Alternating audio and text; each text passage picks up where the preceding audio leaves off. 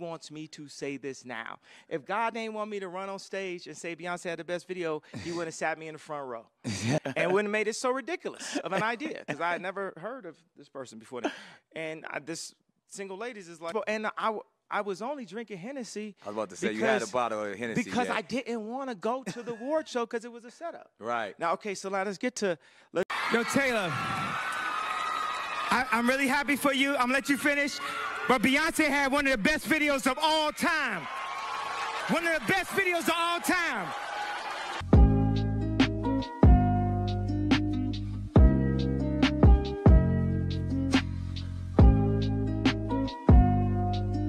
By like 2012, 2013, I had $30 million. So from that time to right now, I want to figure out how can I become a billionaire. Did it with rap.